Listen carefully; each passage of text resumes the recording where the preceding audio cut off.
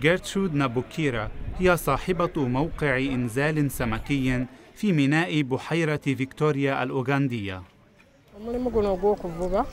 بدأت نشاط صيد الأسماك في عام 1989 وكانت البداية بقارب مجداف واحد. وجدنا مكانا خاليا من الناس إلا أنه كان مليئا بالشجيرات الصغيرة لذا نظفناه وبنينا به كوخ من خشب.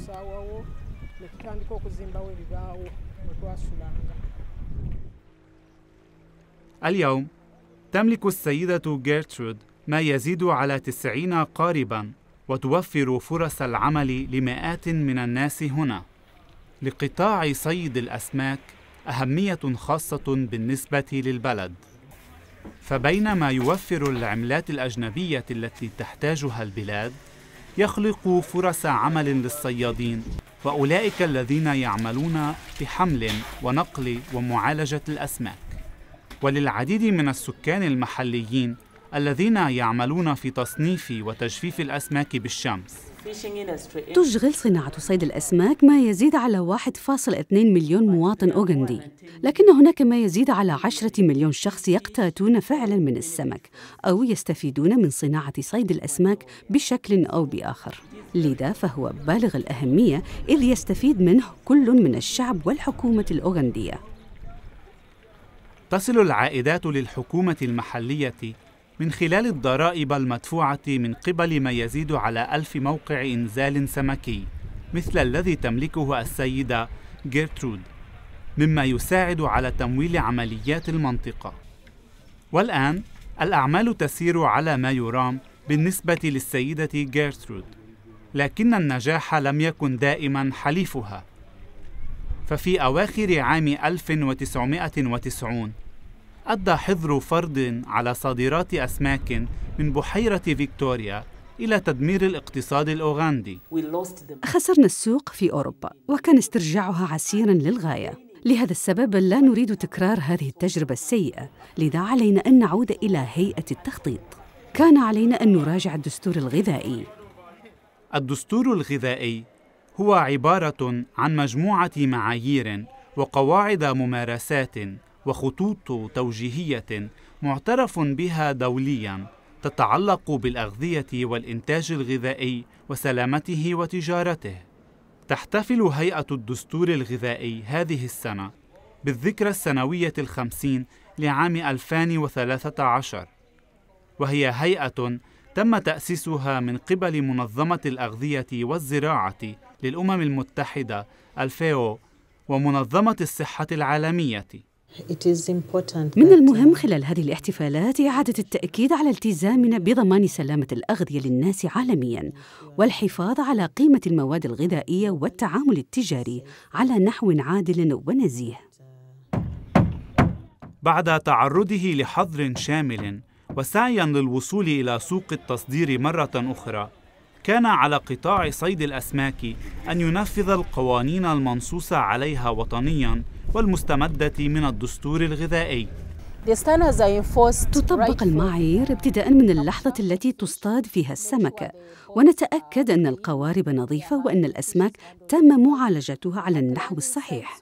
في مواقع الإنزال قمنا بتحسين المنشآت التي يتم فيها إنزال الأسماك. لدينا الماء الصالح للشرب. ونتأكد من استعماله لتنظيف الأماكن التي تنزل فيها الأسماك. يجب تشجيع معايير جودة السمك. كلنا نعي أهمية حفظ الأسماك بطريقة سليمة حتى لا يتعرض المستهلك لمشاكل صحية. هنا لدينا موقع إنزال وضع رسميا من قبل جهات متخصصة في معالجة الأسماك والمنتجات السمكية. وعندما يصل الصيادون إلى هنا يتم نقل السمك في الأحواض بطريقة صحية للتأكد من عدم تلويث المنتجات السمكية ومياه الميناء. إنهم يقومون بالتقييم الحسي كما يقومون أيضا بمراقبة درجات الحرارة. بعد ذلك يسمح بالانتقال إلى مرحلة الوزن قبل أن توضع في الشاحنات.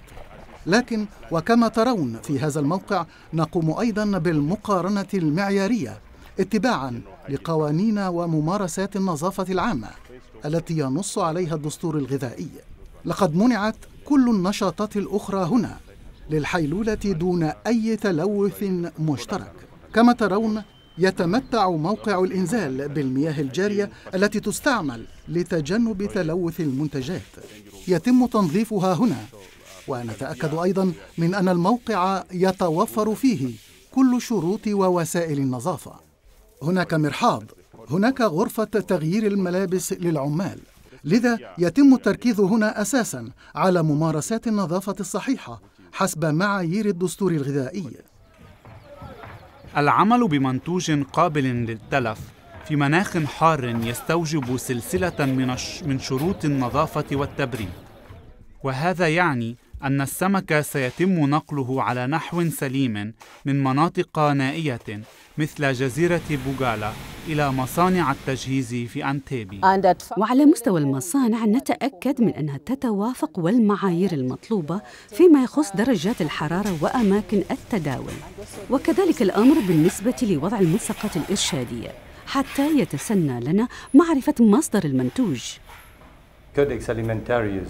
هيئة الدستور الغذائي تجهزنا فعلا بكل الخطوط التوجيهية للممارسات الصحيحة. إنها تشكل القاعدة للبرامج الأساسية.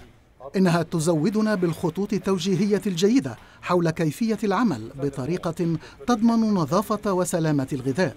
علاوة على ذلك الدستور الغذائي نظام معترف به عالميا وبالتالي يمكننا تصدير منتجاتنا إلى أي بقعة في العالم. وهذه هي المهمة الرئيسة لهذه الصناعة.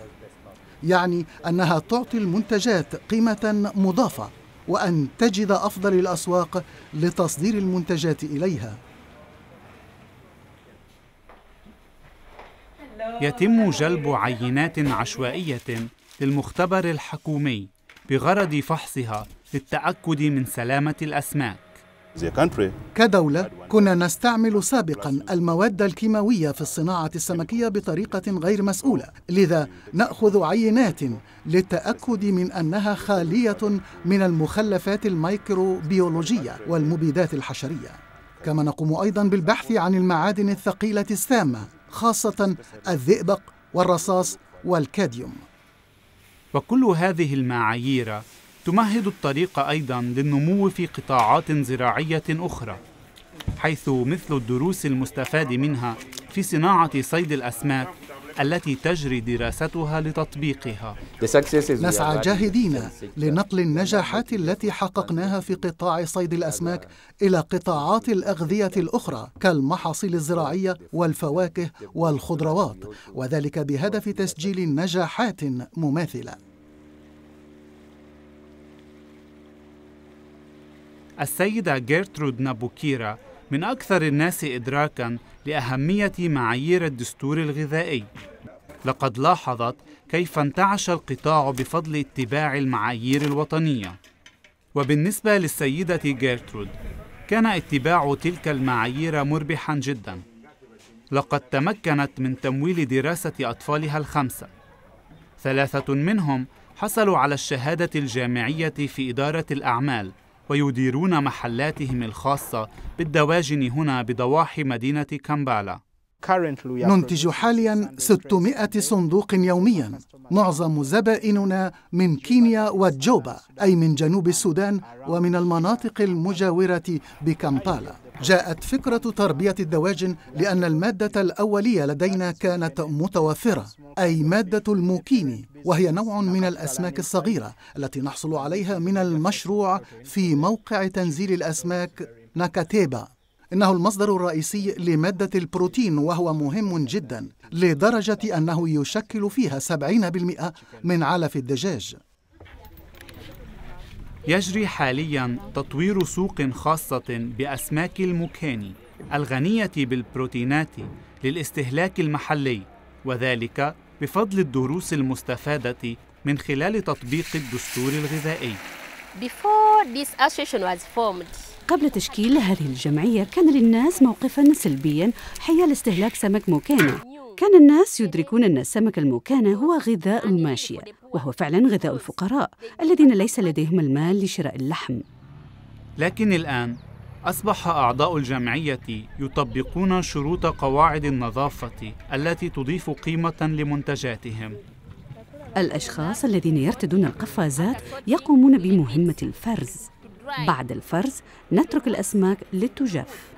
إذا قمنا بتعبئة المواد الغذائية وتغليفها قبل التأكد من خلوها من الرطوبة سيؤدي ذلك حتماً إلى تعفنها وبالتالي إلى مخاطر صحية.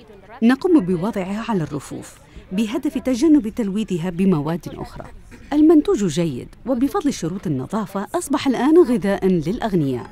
في أوغندا يوجد على رفوف المحلات التجارية الكبرى أسماك المكانة المقلية. والمكانة المجفف بأشعة الشمس والزبائن الذين يذهبون للتسوق في المحلات التجارية الكبرى هم أغنياء. لقد تحسن الوضع الآن. لم يعد الناس فقراء هنا. لم تتحسن الرواتب فحسب بل تطور السوق المحلية تمكن النساء أيضا من لعب دور هام في قطاع صيد الأسماك. كانت تجارة السمك في السابق حكرا على الرجال. لكن اليوم النساء أيضا أصبحن منخرطات في هذه التجارة. وجود السوق لمنتجاتنا يحفز المرأة على بذل المزيد من الجهد. نحن الآن متواجدون في عدد كبير من الأماكن لأن منتجاتنا لها علامة تجارية. الكل يقول أريد منتجات نساء كيندي. منتجات نساء كيندي هي الأفضل. اجتماعيا أفلحنا أيضا في جلب اهتمام المجتمع. بالإضافة إلى التحسينات التي جاءت مع زيادة الدخل هناك كذلك فوائد غذائية هامة.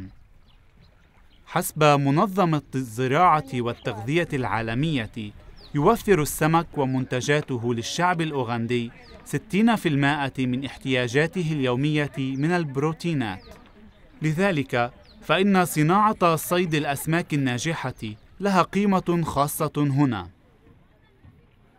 هذه النجاحات جعلت قطاعات أخرى عديدة في أوغندا تستفيد من العمل المشترك مع لجنة الدستور الغذائي. لقد قطعت هيئة الدستور الغذائي شوطا طويلا. نحن نرى مستقبله في محاولته مواكبة متطلبات كل المستهلكين والبيئة وأيضا الدول الأعضاء. هكذا نرى مستقبل هيئة الدستور الغذائي. استجابة حكومات الدول الأعضاء للاستفادة مما تقوم به هيئة الدستور الغذائي ستصبح مهمة جدا. ليس لزيادة قيمة المنتوجات فحسب بل أيضا للتمكن من التصرف بشكل سريع في معالجة قضايا سلامة الأغذية على نطاق عالمي.